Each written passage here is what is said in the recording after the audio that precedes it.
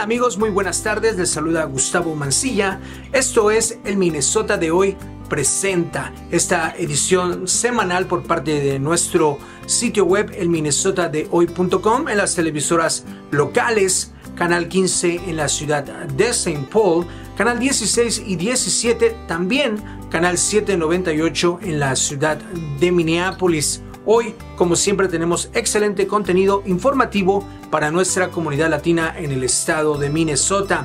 Colaboraciones muy especiales en esta semana, comenzando con nuestra compañera Luz Adriana Jacome, quien está en Metro Transit y quiere darnos a conocer todo lo nuevo que hay con el sistema ahora que está ampliando su servicio con rutas más frecuentes, viajes más rápidos, en una entrevista muy especial con nuestro amigo Antonio Castro. También tenemos una colaboración especial con Jovita Morales, a quien ustedes seguramente conocen, y nos habla sobre las elecciones que se acercan en este mes de noviembre. Nuestro compañero y colaborador Marco Dávila, quien se especializa en temas de comunidad, inmigración, tiene un invitado muy especial que nos va a platicar de todo lo que está sucediendo en el país del Canadá con nuestra comunidad inmigrante, la comunidad eh, trabajadora temporal. Invitación por parte de la Minnesota Opera y mucho más. Muchas gracias por estar con nosotros aquí en el Minnesota de hoy presenta. Te saluda Gustavo Mancilla agradeciéndole por estar siempre con nosotros.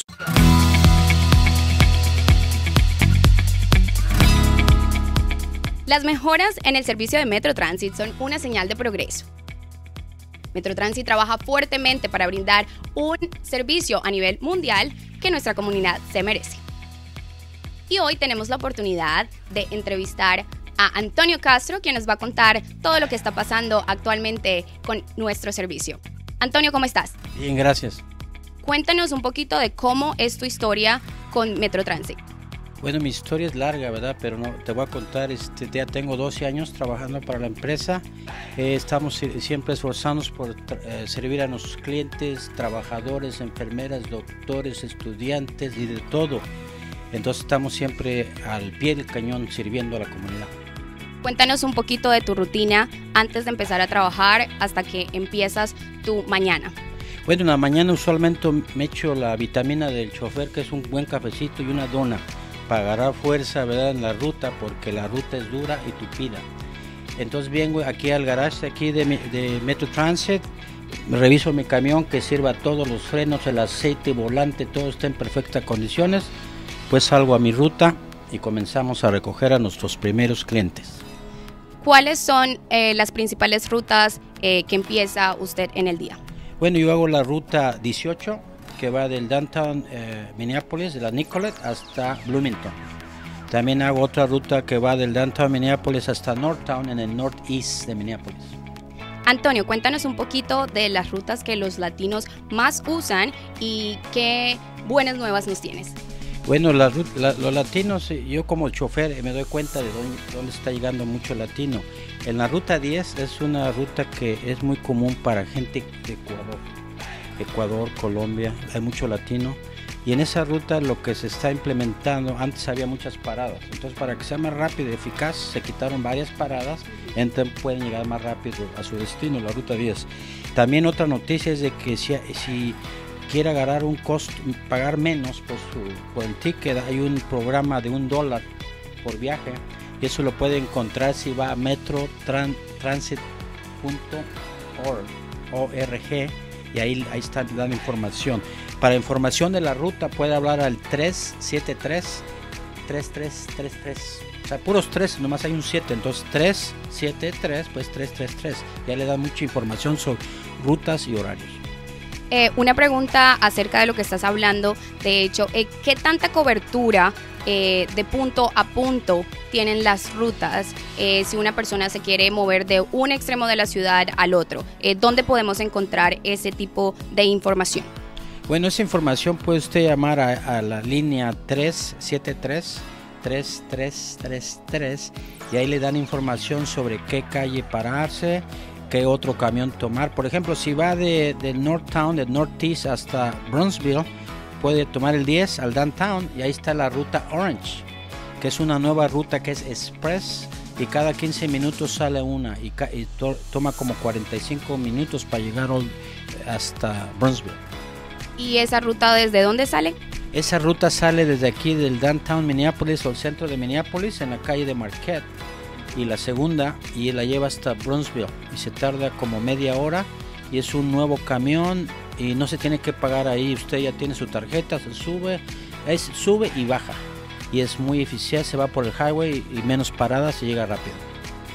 Antonio, cuéntanos un poco eh, y contémosle a la comunidad cómo ha mejorado el servicio eh, después de la pandemia. Bueno, eh, claro, la pandemia nos paró todo el servicio, pero eso dio oportunidad a Metro Transit para mejorar los camiones. Tenemos camiones de primer mundo, limpios toda la mañana. cuando yo recojo mi camión está perfectamente limpio y sanitizado para que no haga más enfermedad. También ofrecemos mascarillas al, público que quiera usar si no se siente bien. O sea que ha mejorado un 100%.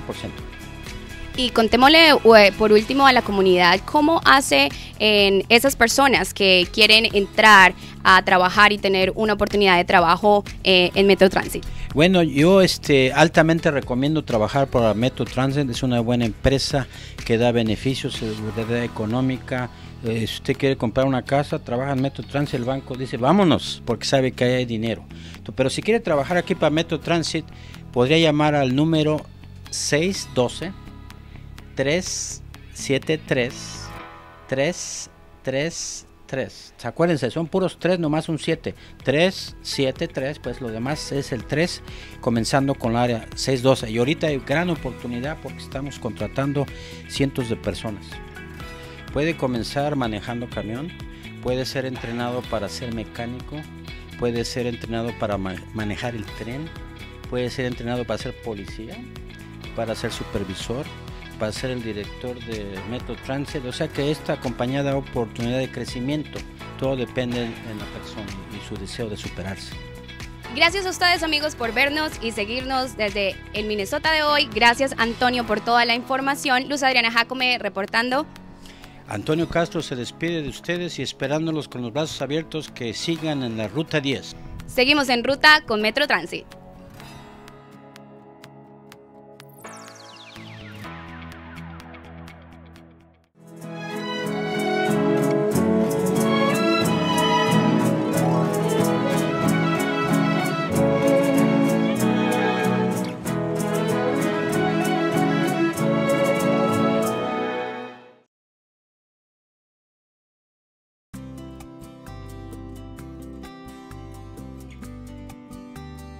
¿Qué tal a todos? Nuevamente soy yo aquí, Jovita Morales, y estoy aquí para hablar sobre las elecciones de este año 2023, eh, las elecciones locales. Y usted que me esté viendo, si vives en Minneapolis, en San Pablo, en San Luis Park, en Minnetonka y en Bloomington, esta información será de mucha ayuda para usted porque estamos hablando sobre este elecciones de este año y precisamente este otoño eh, votarás en las elecciones de tu ciudad utilizando el voto por orden de, em, de preferencia y cuando estamos hablando de orden de preferencia es importante saber que las, eh, las elecciones locales ahora ustedes pueden elegir eh, un candidato, un segundo candidato y un tercer candidato para poder contar su voto aquí este es una, un ejemplo de la papeleta que tenemos. Ustedes pueden elegir una, un candidato, digamos que si yo vivo en Minneapolis, estoy votando por un candidato, yo puedo elegir acá el primero y si tengo un segundo opción puedo elegir en el segundo. ¿Y por qué digo esto? Es porque imagínense si ustedes votan a un candidato nada más pero no votan otros más. ¿Qué pasa si su candidato no gana? Pues estarían perdiendo todo lo demás opciones de la segunda y la tercera oportunidad de, seguir eh, votando. Entonces es importante votar por la orden de preferencia. Eh, nosotros le decimos eh, más opción y más poder. Así es que no se les olvide votar este 2023 el eh, ah, noviembre 7.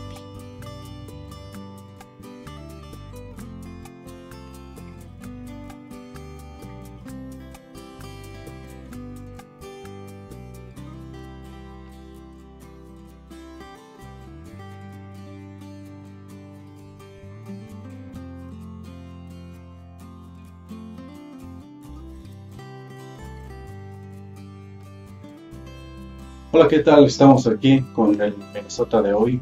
Presenta en una contribución. Mi nombre es Marco Dávila vivo en Minneapolis. Estamos aquí con el amigo Niger, Niger Sarabia. ¿Cómo estás, Niger Sarabia? ¿De dónde vienes? ¿Qué haces por acá? Muy bien, eh, mi nombre es Niger Sarabia, eh, vengo de Canadá, de la provincia de New Brunswick. Eh, soy coordinador con la Alianza de Trabajadores Migrantes por un Cambio, que es una alianza pro-inmigrante eh, liderada por migrantes, por trabajadores migrantes en Canadá. Somos parte de una eh, red de, organizaciones eh, pro migrantes en todo Canadá.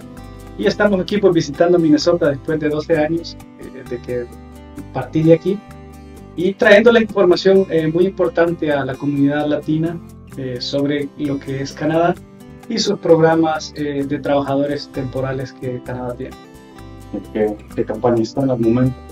Eh, ahorita estamos, una de las campañas que tenemos es eh, la residencia permanente para todos los trabajadores migrantes. Canadá ahorita tiene 1.7 millones de trabajadores migrantes en diferentes industrias, eso incluye estudiantes internacionales, eh, trabajadores agrícolas, trabajadores en, el área de salud, trabajadores en áreas marítimas que trabajan con marisco.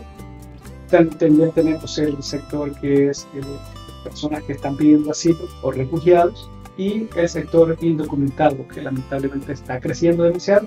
Entonces, en estos sectores es que nosotros nos enfocamos eh, en la organización. Son ese tipo de programas que existen, ¿no? De conexiones de un país, por ejemplo, de México, parece que tiene varios programas que vienen trabajadores, migrantes con permiso van a trabajar temporalmente allá. Sí, eh, uno de los programas es el programa de trabajadores agrícolas que fue establecido en 1900 entre acuerdo bilateral entre Canadá y México, eh, estos trabajadores eh, vienen a trabajar en lo que es el sector agrícola. Eso se puede llamar de los invernaderos, eh, con recolección de fruta como manzana, uva y pera. Y vienen, sus permisos son temporales, a veces vienen de tres meses hasta ocho meses. tenemos trabajadores que han estado viendo en el programa 25 o 35 años y vemos que su familia, eh, en algunos casos nos encontramos que el abuelo vino el programa, el papá vino el programa, los hijos están en el programa. Ese es un acuerdo bilateral en lo que es, entre que es Canadá y Estados, eh, en los Estados Unidos mexicanos. El otro programa que hay es el Trabajadores eh, Foráneos. este es, se abrió porque Canadá está necesitando mucha mano de obra. Entonces le ha dado la oportunidad a los empleadores para que ellos puedan emplear directamente a estos trabajadores de lo que es México y el Caribe. ¿Qué beneficios tienen estos trabajadores? Porque escucho que son casi como, como las temporales, acá donde te dan trabajos de diversos tipos en, todas las áreas laborales. Eh, ¿Cuáles son los beneficios? Pues, eh, los beneficios son muy mínimos, eh, es más la, la, explotación que los beneficios que los trabajadores reciben como por ejemplo un trabajador eh, temporal cuando llega a la provincia de New Brunswick no puede accesar a los beneficios de salud. Eh, como sabemos, la, la, salud es totalmente gratis para los eh, canadienses, pero está excluyendo a los trabajadores temporales. Quiere decir de que la provincia dice que un trabajador temporal no puede usar los servicios de salud hasta después de un año. El problema aquí es que los trabajadores no tienen contratos que pasan de un año, y la gran mayoría, entonces por lo tanto no pueden accesar a la salud. Ese es uno de los problemas que nosotros estamos viendo, eh, eso es a nivel de todo Canadá.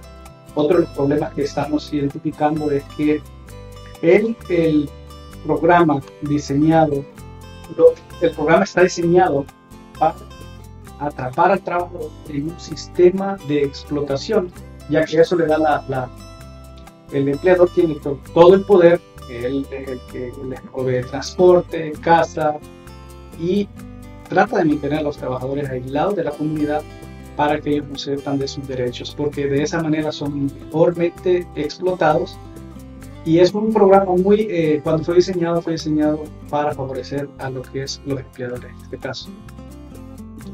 Parece que sería un poco difícil organizarse, ¿no? Porque vienen bajo el programa y vienen legalmente.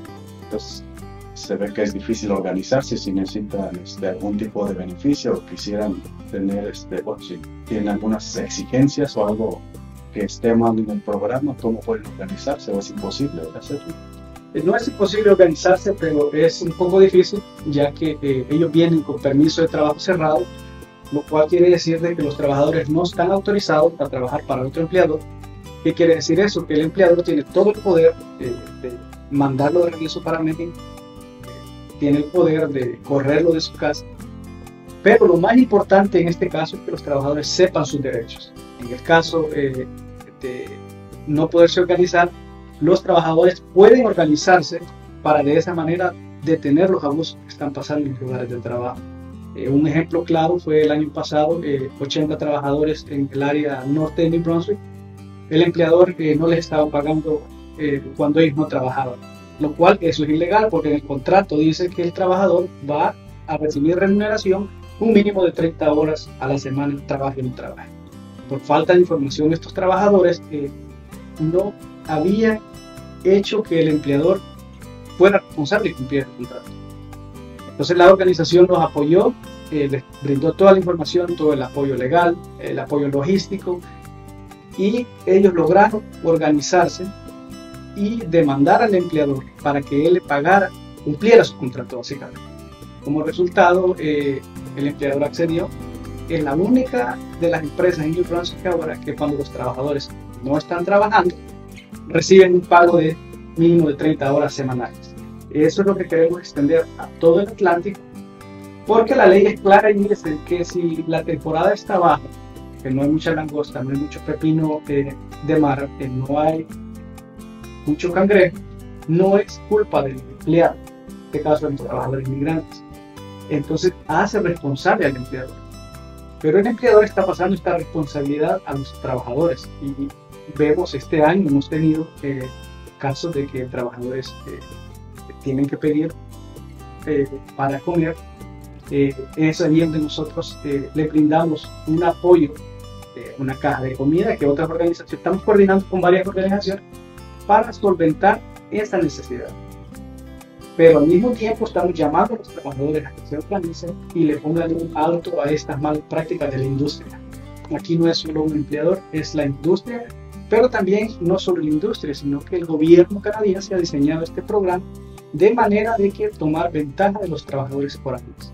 En el caso de los trabajadores de México, eh, muchos de ellos pasan toda su vida en Canadá, sus familias están rotas eh, por ausencia de padre o madre y no logran terminar de recibir una residencia permanente porque el programa no les permite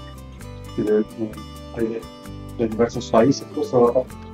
La mayoría es de México, el programa eh, de trabajadores agrícolas es de México, Jamaica, eh, Haití, también tenemos trabajadores de Linda y El otro, en el otro el programa tenemos eh, trabajadores sí, de, Latinoamérica, también de Asia, muchos filipinos, pero el concepto es el mismo, el sistema está diseñado para explotar el trabajo. Es eh, eh, eh, la base. Entonces es ahí donde nosotros entramos y queremos romper ese círculo vicioso que el gobierno canadiense ha creado y a través de enfocarse y pedirles y presionar al gobierno para una residencia permanente. Porque teniendo una residencia permanente, los trabajadores van a poder accesar a servicios de la salud, a servicios y podrán organizarse laboralmente podrán ellos eh, acceder lo que es a los programas que hay diseñados para la sociedad canadiense. Por el momento no, los trabajadores pueden acceder a ciertos servicios. Entonces es ahí es que estamos viendo dos tipos de, de, ciudadanos, de ciudadanos, el ciudadano canadiense que goza de todos los beneficios de Canadá y el trabajador migrante que no goza de los beneficios que Canadá está, está proveyendo a su sistema. Entonces queremos romper ese círculo vicioso y los trabajadores diseñaron esta campaña de pedir una residencia permanente porque de esta manera podrían liberarse de los abusos de los patrones. Entonces esa residencia permanente solucionaría bastante parte del problema. Pero nos puede decir como a corto, mediano plazo más o menos qué es lo que buscarían ustedes como organización. A corto plazo eh, es, eh, es bueno, estamos cerca por ganar la residencia permanente le hacemos la invitación a los trabajadores mexicanos aquí o a la comunidad latinoamericana que si tiene familiares en, en, Canadá, les pasen esta información y que se unan a la campaña porque están muy cerca. El año pasado, en diciembre, el primer ministro de Canadá eh, dio la orden al ministro de Inmigración que tenía que trabajar para la regularización de los trabajadores migrantes. Eh, lamentablemente el ministro de Inmigración no cumplió esa promesa. Entonces esperamos ahorita, en, ahorita está de vacación el Parlamento canadiense y estamos esperando que ellos regresen para volverles a decir, miren, esta es la propuesta que los trabajadores han quieren. O sea, hemos, las organizaciones sociales allá hemos metido una propuesta al gobierno de decir, estos son los pasos que debemos de seguir. Porque nosotros recolectamos esa información de los trabajadores. Y eso es lo que los trabajadores nos están diciendo. Los trabajadores nos están diciendo, estamos cansados de que el empleador nos abuse. Estamos cansados de enfermarnos y no tener la cobertura eh, de salud. Estamos cansados de no poder traer a nuestras familias. Estamos cansados de todo este sistema de explotación que Canadá ha creado y nos dieron la, la solución. Los mismos trabajadores han creado su solución y es una residencia permanente nos, nos abriría el camino para poder traer a las familias y poder establecer ya formalmente en Canadá. Pensar que es mandar como principal mensaje tal vez aquí a los trabajadores de Minnesota o a los de Canadá o a los que piensan tal vez en un futuro cercano aplicar para los de Latinoamérica o de Jamaica o de otros países. Eh, el mensaje eh, para, para, los trabajadores eh, migrantes es que busquen información antes de, de, de, querer emigrar a Canadá. La otra es que si ustedes tienen familiares en, Canadá, les inviten a ellos que sean partícipes de este movimiento que se está creando para poder obtener una residencia permanente. Estamos muy cerca, pero necesitamos más trabajadores, necesitamos más personas que se unan a la campaña. De hecho, eh, septiembre 16 eh, y 17 vamos a tener acciones nacionales en todo Canadá para presionar al gobierno y decirles, mira, tú nos mentiste, tú nos fallaste, eh, queremos una residencia permanente lo más pronto posible. Porque lo que está pasando es que los trabajadores migrantes al verse ya atrapados por este sistema eh, de trabajadores temporales, se están saliendo y se están quedando como indocumentados. Entonces el número de indocumentados está creciendo y no queremos que eso siga sucediendo porque eh, eh, los trabajadores indocumentados están sufriendo abuso, están quedando en la calle, nadie les renta. Entonces están pasando muchas dificultades en Canadá, lo cual uh, Canadá es conocido como un país eh, que se abre a todo el mundo y le da los brazos abiertos a la gente y los invita a venir, pero por el otro lado no está cumpliendo con los eh, protocolos para ayudar al inmigrante. Entonces de esa manera los trabajadores, eh, ya sea los que están aquí en Minnesota, puedan unirse a las campañas virtuales que hacemos para presionar de esa manera a los al primer ministro de Canadá. Y por último, ¿quieres dejar de información para las personas que nos pueden estar viendo en este momento? Eh, una información muy valiosa, si, si quieres saber más sobre, sobre eh, Canadá, es eh, en los, los, las páginas oficiales que es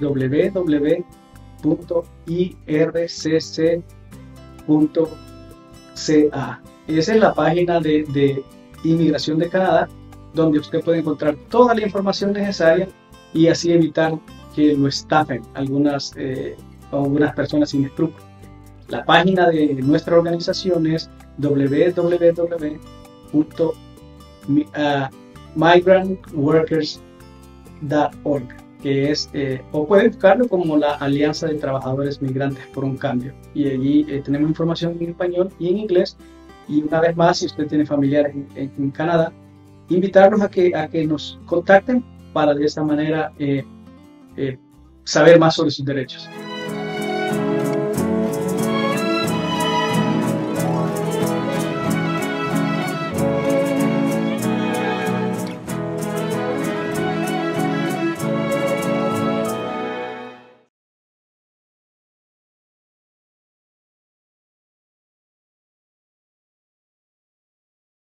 Atención médica de calidad para usted y su familia nunca ha sido más importante. Hennepin Health puede ayudar. Si vive en el condado de Hennepin y es elegible para asistencia médica o Minnesota Care, Hennepin Health lo tiene cubierto. La cobertura incluye visitas al médico, estadías en el hospital, atención de emergencia, atención dental, medicamentos recetados y tratamientos de salud mental. Lo conectamos con los servicios comunitarios y del condado para su bienestar total.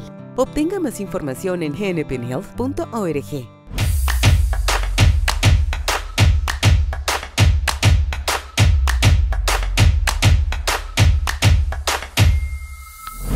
Les saluda.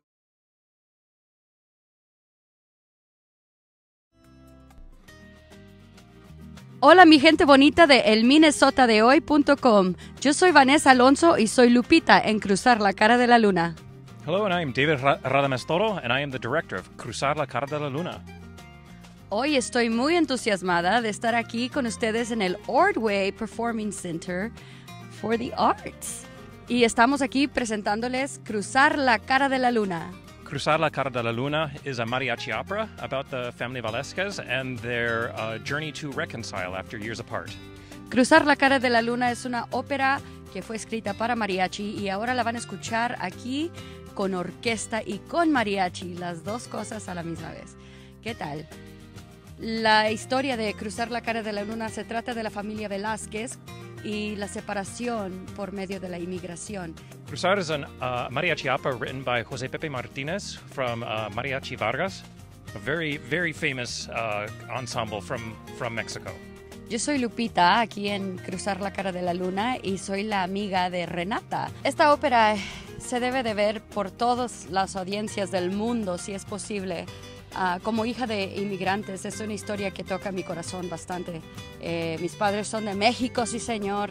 Mi padre de San Luis Potosí, mi madre de Aguascalientes. Entonces, para mí es un honor y, no sé, me toca mucho el corazón y el alma poder cantar mi música mexicana y también eh, la historia de muchos, ah, muchos que se van a otros países a trabajar para darle una vida mejor a sus familias.